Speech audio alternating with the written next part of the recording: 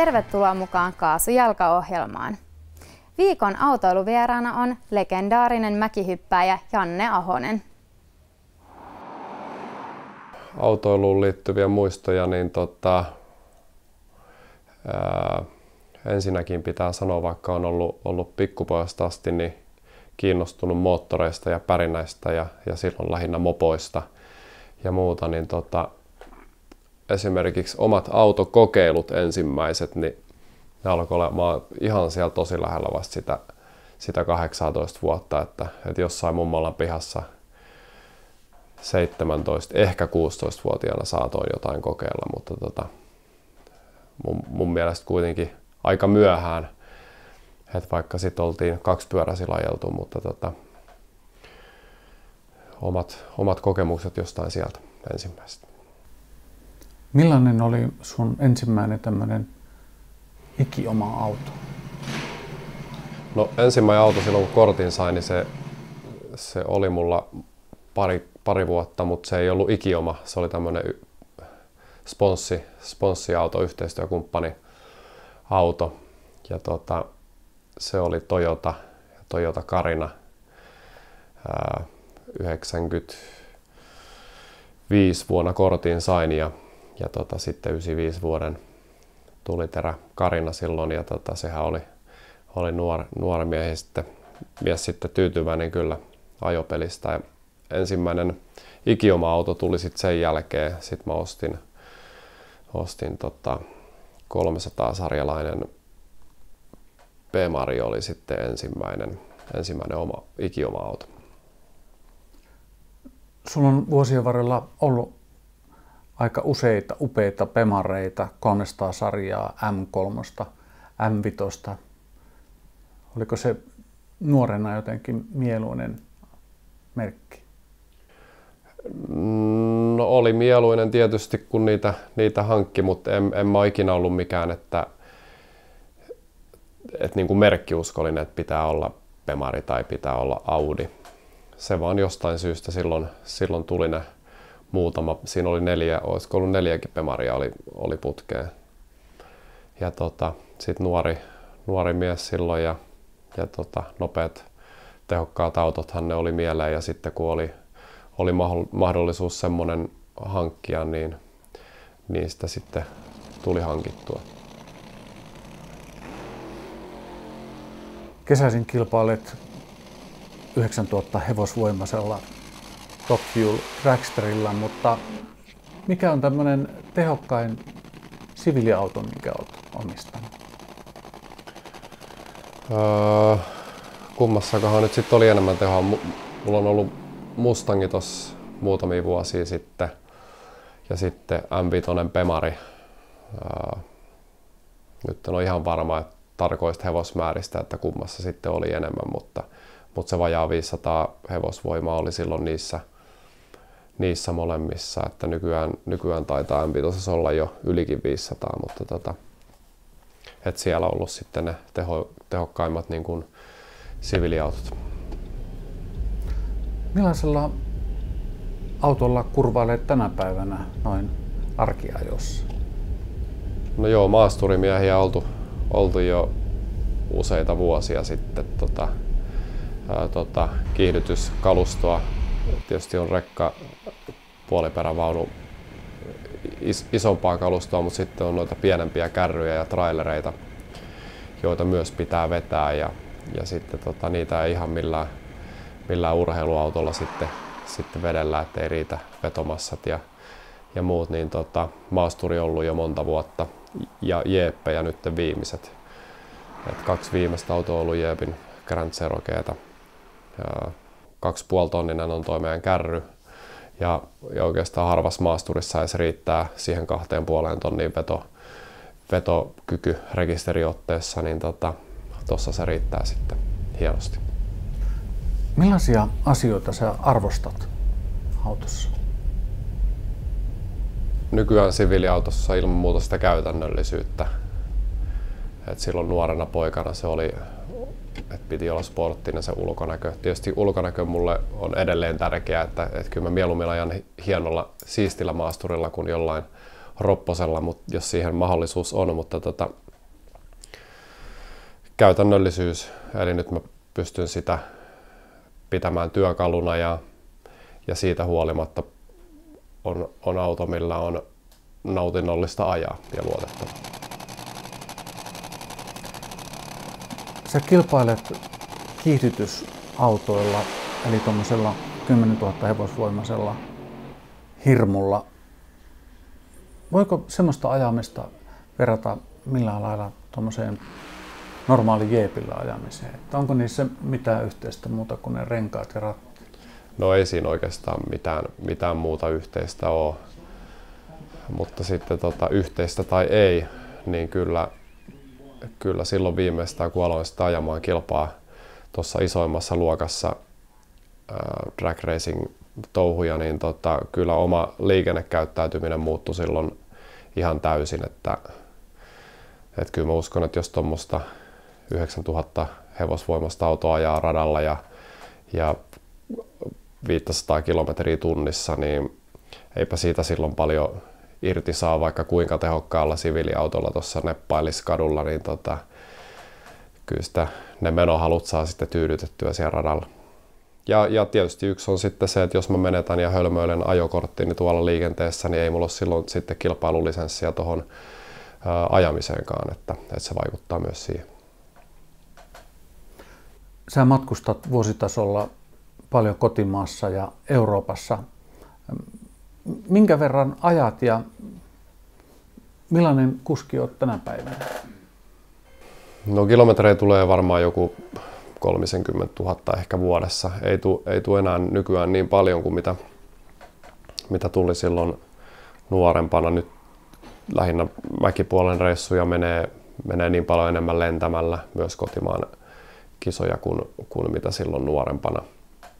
Ehkä noin 30 tonnia vuodessa. Ja tota, tuossa niin kuin sanoin, että, että oma liikennekäyttäytyminen muuttui sen jälkeen, kun alkoi ajaa kilpaa, niin sitten vielä toinen muutos, mikä tuossa tapahtui sitten vielä, vielä sen jälkeen, niin on sitten kun itse ajo raskaan kaluston kortin ja eikä pelkästään se kortin ajaminen, vaan, vaan sitten kun on alkanut rekalla tuolla liikenteessä touhuamaan, niin, niin kyllä, kyllä nykyään, sit jos mä lähden pikkuautollakin tien päälle, niin kyllä mä osaan ottaa esimerkiksi raskaan kaluston ihan eri tavalla huomioon, kun mä tiedän, minkälaista se liikkuminen siellä on ja, ja minkälaisia silloin tehdä.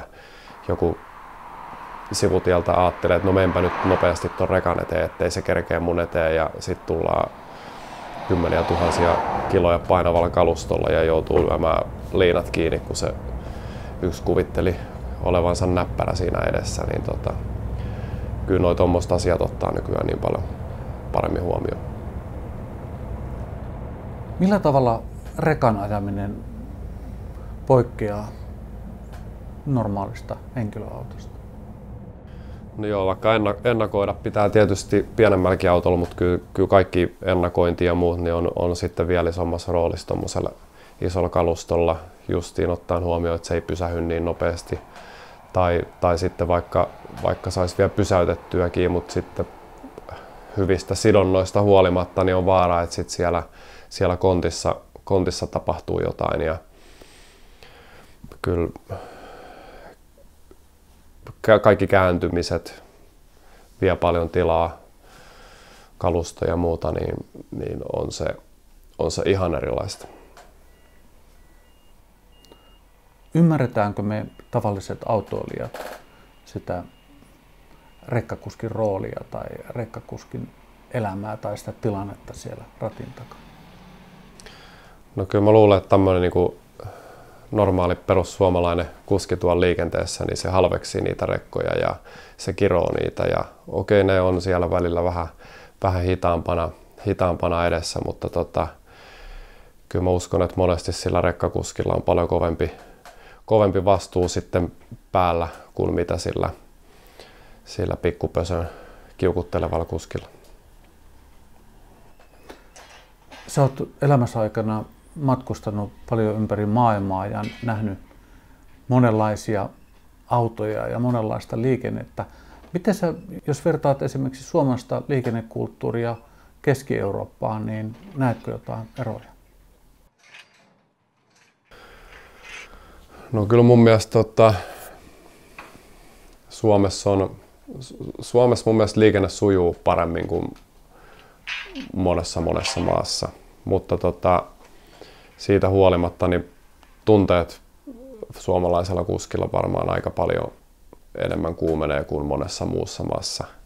Näin, näin, näin uskoisin. En tiedä mikä on sitten ajattelutapa tuolla ulkomailla, mutta suomalainenhan on aina, jokainenhan on paras kuljettaja. Et, et tota, ehkä sitä mentaliteettia ei, ei niin ole sitten tuolla ulkomailla. Nyt kun eletään tammikuuta 2018, niin tavataan täällä sun Artsportin tiloissa Lahdessa. Mitä kuuluu sun siviilielämälle ja toisaalta myöskin varmaan meitä suomalaisia kiinnostaa mäkihyppyasia? No joo, kiireestä, kiireestä aikaa, talvisaika varsinkin, että, että oma urheileminen ja, ja sitten siinä ohella, ohella nämä hommat pitää pitää huoli suomalaisten urheilijoiden kilpailuvälineistä ja, ja tietysti omistakin ja, ja tota, touhua piisaa, mutta edelleen valmistautuminen omalta osalta sen, sen mukaan mennään ja edetään, että, että olympialaissa hypätään ja, ja jos siellä mukana ollaan, niin olisi, olisi seitsemännet sitten omalla kohdalla ja onhan se, en mä yleensä noihin tommosiin tilastoihin niinkä perusta eikä sillä, sillä sinänsä merkitystä, mutta ehkä se kertoo jostain. Sulla on ollut kortti jo yli 20 vuotta. Oletko joutunut elämässä aikana monta kertaa tämmöisiin vaaratilanteisiin tai onnettomuuksiin? Jotain pieniä onnettomuuksia on omalle kohdalle tullut. Nekin oikeastaan sieltä nuoruuden ajoista jotain huolimattomuuksia, peräänajo tai, tai vähän käsijarrukäännöksellä talvella katupylvääseen, mutta tota, ei onneksi missään isommissa ole sitten, sitten itse ollut mukana. Sun elämä on ollut täynnä erilaisia autoja, pääosin aika vauhdikkaita autoja siviilissä ja tuolla kilparadalla. Millaisessa roolissa auto ja autoilu on sun elämässä? Joo, sanotaan, että auto on, on se tota, väline, millä siirrytään paikasta toiseen. Joo, kyllä. Mutta tota, kyllä mä aina olen niin pyrkinyt, pyrkinyt myös siihen, että, että mulla on auto, millä mä tykkään ajaa.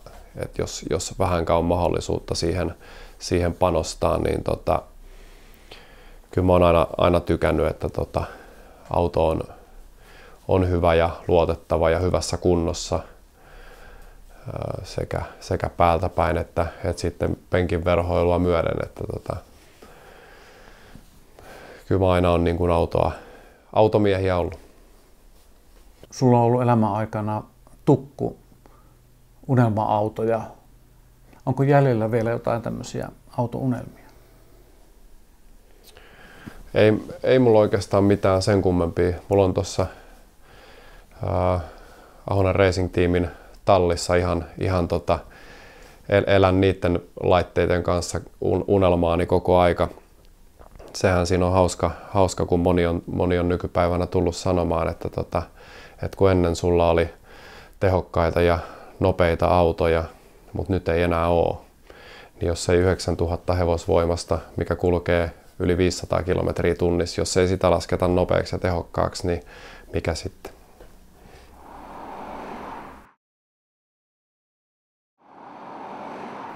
Suomessa osataan myös rekkojen tuunaaminen. Vai mitä mieltä olette tästä taideteoksesta? Mä alun perin ajattelin, että kun meillä oli edellinen auto, se Highway Hero nimeltä, semmoinen limenvihreä auto, ja me oltiin sillä muun muassa ensimmäinen eurooppalainen rekka, mikä oli Pohjois-Amerikassa näyttelyssä. Oltiin. Ja mä ajattelin, että kaikki on jo koettu. Ja nyt tämä on niin meidän yrityksen ensimmäinen tämmöinen rekkaveturi, missä on kaksi puoliperävaunu, niin tämä aihe on niin, niin sillä tavalla niin kuin pikkupojille isot lelut. Niin siitä se vähän niin kuin lähti, että kun aihe oli niin hyvä, niin pojat oli, että eikö nyt vähän tehtäisi jotain. Ja sitten se ehkä se, se mopo niin kuin karkas käsistä taas jälleen kerran, vaikka ei pitänyt tehdä. Niin mä monta kertaa sanonut, että perhe on tärkeä ja tämä on viimeinen. Ja, mutta aina tulee sitten se poikien kanssa, että jos nyt vähän jotain tehtäisiin, niin sitten taas se vähän niin kuin unohtuu siinä tekemisen äärellä. Että Ja taas sitten taiteilija, kuka on piirtänyt kaikki kuvat, tämä Perttu Papun oli hyvä idea, että hän tykkäsi, että purppura väri, sitä ei ollut täällä rekkamaailmassa. Se on tunikimaailmassa paljon käytetty, mutta rekkamaailmassa ei ole ollut. Ja tämä Lowriderin aihe, mitä on, siinä on niin paljon alakulttuureita löytyy, että sitä ei, ei, ole, ei ole tehty vielä, niin että aina löytäisi jotain niin kuin uutta. Ja maalattiin valkosivurenkaat ja tehtiin pinnavanteita käsityönä ja paljon semmoisia uniikkiosia, mitä kaupasta ei kukaan saa, niin siitä se kokonaisuus vähän niin kuin palapeli, pala palalta se vaan niin kuin muodostuu sitten oikeaksi. Niin kuin tuossa sanoit, niin autoa on rakennettu vuoden verran ja se valmistunut tänne messuille. Millainen porukka tämmöiseen duunaukseen vaaditaan, jotta jälki on tämän näköistä? No siihen vaaditaan ihan parhaat kaverit, paras tiimi. Että siinä on metallimiestä, siinä on verhoilijaa, rosterityötä, sähkömiestä. Siinä on niin kuin paljon. Niin kuin mä, mä oon 20 vuotta näitä rakentanut ja sama porukka on ollut kaikissa autoissa mukana tekemässä. Et meillä on vähän niin kuin tullutkin semmoinen semmoinen niin kuin tiimihenki ja kaveriporukka, että ollaan vapaa-ajalla yhdessä ja perheet. Ja totta kai kaikki on saanut lapsia, vaimoja naimisissa. Silloin kun me aloitettiin, niin me vaan lähdettiin hallinnurkkaan ja tehtiin. Emme kysytty. Nyt me pitää vähän kotona kysyä, että rakas kun me lähtee muutamassa kuukaudeksi halliin vähän poikien kanssa tekemään. Että maailma muuttuu, mutta totta kai intohimo autoja kohtaan pitää olla, ei se muuten syntyisi. Ja samanhenkistä, samanhenkistä kaveriporukkaa. Että, että onkin aina niin kuin väärin, että, että niin kuin nytkin kaikki aina sanoo, että kun se on mun auto, mä oon maksanut lasku, niin mä saan ne kehut. Ei, ei, ei, ei I'm just poliisin kai, mä oon se kiilottajapoika. Nämä kaverithan tämän auton on tehnyt, ne, ne on niin kuin ne, ketkä sen on tehnyt. Kiitos kuuluu näille tiimille ja kavereille. Auto hohtaa nyt uutuuttaan ja sehän on kieltämättä kuin karamelli. Mitenkäs ihan sitten työkäytössä uskaltaa tai pystyykö tämmöisellä autolla töitä tekemään? No sanotaan, että kaksi yleistä kysymystä, kun sä oot tuolla tien päällä töissä, niin on, että mitä se maksaa ja voiko tehdä töitä. Ja se, että silloin on pakko tehdä töitä, se on liian kallis museon. Tehdään töitä, totta kai sä joudut pitää huolta siitä pesemään. Totta kai vaivaa joutuu näkemään, mutta niinhän sä joudut itsekin. Sä peset kädet kotona ennen kuin menet ruokapöytään ja käyt suihkussa ja huolet itsestäsi ja hygieniasta. Ja sama se näissäkin. Autossa pidetään huolta ja työkalu pidetään siistinä. Eihän se kirvesmieskään saha tylsällä moottorisahalla. Se pitää huolen kamoista, että sama meilläkin on hintohimo työkaluja kohtaan.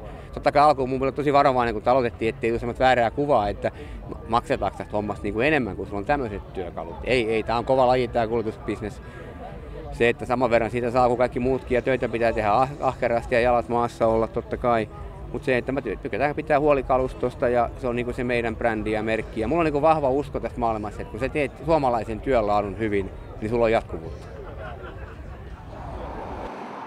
Seuraavaksi tutustumme mielenkiintoiseen palvelumuotoon, nimittäin autojen huoltokioskiin. Huoltokioskihan on täysin kotimainen. Itse, itse Kaappi tehdään Kuusamossa ja äly siihen kaappiin laitetaan Oulussa, missä on älyä varastossa aika paljon. Ja, ja tota, sen jälkeen sitten, sitten meillä, on, meillä on valmiit moduulit, mitä me sitten voidaan räätälöidä asiakkaalle ihan mittojen mukaan. Ja, ja tota, täysin kotimainen tuote. Meillä on täyden palvelun talo. Me tuodaan haluttu kaappi asiakkaalle, haluttuun paikkaan, annetaan sinne koulutus, tekninen tuki, teipataan se asiakkaan logoilla ja asiakkaan maun mukaan.